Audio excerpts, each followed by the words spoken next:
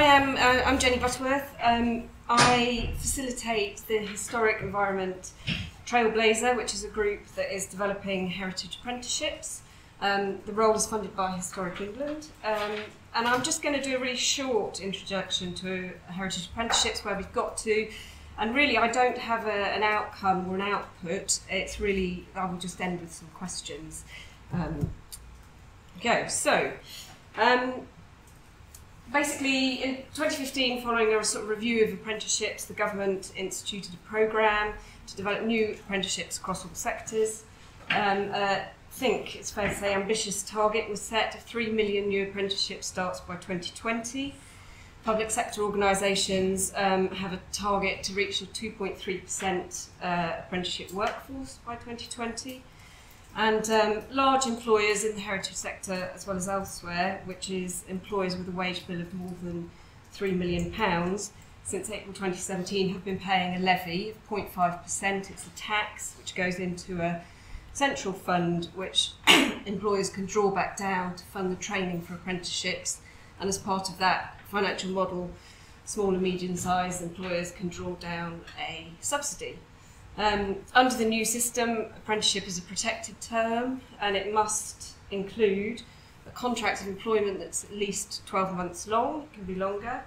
It must include 20% off the job training um, and then a programme of on the job training and assessment, mentoring, and so on. The important thing, probably, that is different to some previous schemes, like, say, the NVQ, is that the sort of on programme assessment is part of the process, but there is a crucial moment where the apprentice reaches what's called the gateway, and then it is all done through an end point assessment, the completion of the apprenticeship.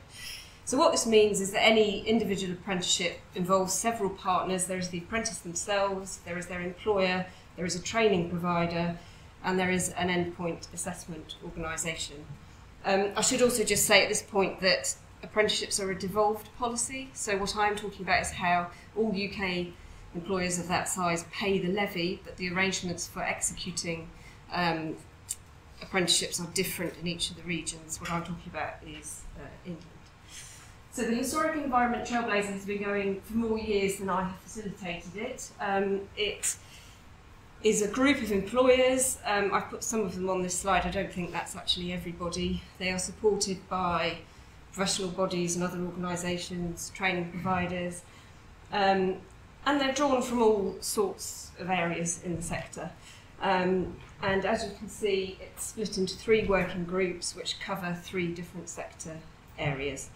Uh, Historic England, as well as being a public sector employer um, and having a target and being a levy payer, they also have a white paper commitment to support the development of apprenticeships, which is why they chair the group and they fund my role. The uh, Trailblazer works with the Institute for Apprenticeships, which is part of the Department for Education. Um, the working groups meet every four to six weeks. It's a significant investment by the organisations involved in developing these apprenticeships. They are employer driven, so the employers get to decide which roles they think the sector needs and develop them and then put them through the approvals process.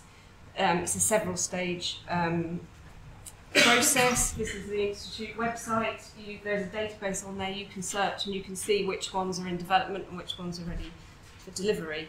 As part of the process, there is sector consultation, and for each apprenticeship, a funding band is set, which is the maximum amount that can be drawn down to fund the training of the apprentice.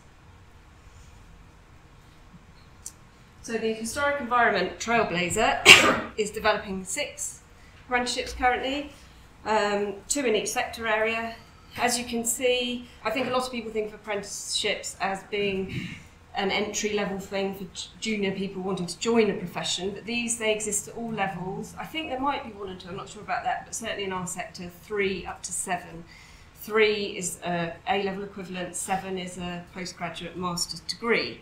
So um, I think the, the thing here is the aim is is various. The aim is firstly to develop entry level roles, to develop alternative routes into the profession, to increase social mobility, diversity, capture new audiences into our professions.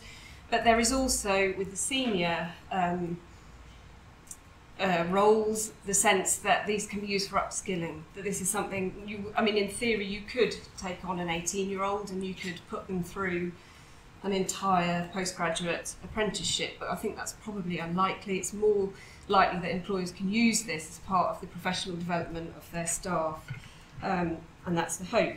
And I think for our sector, the other hope is that these apprenticeships can be used to address skills shortages, personnel shortages, um, you know, some of which already exist, and some, as Mike was saying yesterday in his talk, are, are approaching. So this I just picked out some ones that I think are particularly relevant to the museum sector.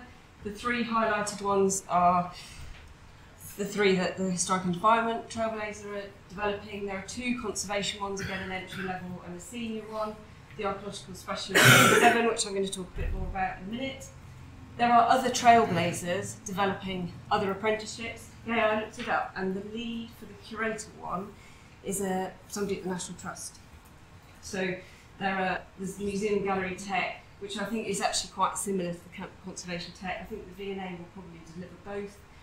Registrar. There are also a whole string of others which are not specific to our sector but are applicable, and I know lots of lo the local authorities that you all work for, and indeed Historic England, are to up the, their apprenticeship targets. They they have taken on apprentices in these more generic roles. Each apprenticeship is um, it has an occupational profile. This is the archaeological specialist level seven. Um, uh, we did we have to consult, and we did consult SMA members back in the summer. You might remember that. It's a postgraduate apprenticeship. It involves a master's qualification. It is a very broad standard. Um, this has to be so for practical reasons to do with the way the um, institute works and also to make them financially viable. It isn't possible to say develop a postgraduate apprenticeship in Romans fine specialisms because there wouldn't be enough to make it sustainable. So it is really broad and you can see from the range of job titles there, um, it can capture a lot of specialisms. And then each apprenticeship is um, is defined by a set of duties and a set of knowledge, skills, and behaviours that um, that somebody has to become competent at at the level of which the apprenticeship is set to complete it. And a lot of this, these apprenticeships have been done by harvesting job descriptions and talking to the professional bodies about their competencies and matching those things up to create these standards.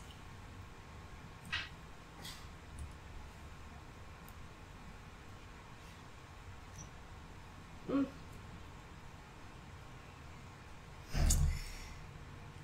And that, that's really where I come to an end. Hopefully, quite I've done that quite quickly. That's good. Um, this isn't a story with an ending yet. These, the, all of our heritage sector apprenticeships will be ready for delivery, sort of between the next couple of months and September 2019. And we know that we're not quite ready there for them yet in terms of sector readiness. I think their usefulness will depend on the take up in the sector and there is more promotion that needs to be done to make people aware of apprenticeships and how they work and how the funding can be drawn down and so on.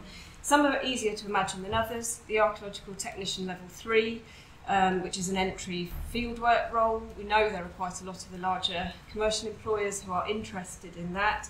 Um, same with the conservation technician, the V&A is readying to deliver it. With the archaeological specialist, I think that's the one that I feel is interesting and could do with SMA attention really. It may not be that museums are employers who wish to employ apprentices in that role, though I think it might be useful thinking about FLOs and upskilling and side skilling and so on. But when we know that, again, commercial employers probably will use it for upskilling. I think the last few days we've talked a lot about skills shortages, loss of expertise, new ways of delivering training and accessing collections.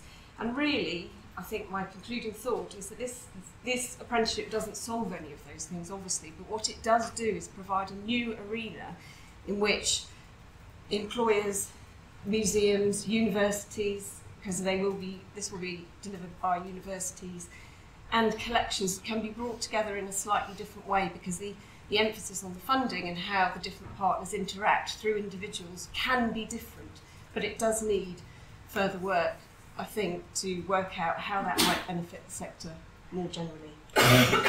and just to say, there are uh, always lots of questions about how the apprenticeships work in functional fashion, and do um, email me if you want more information, or there's quite a lot of information on the Historic England website.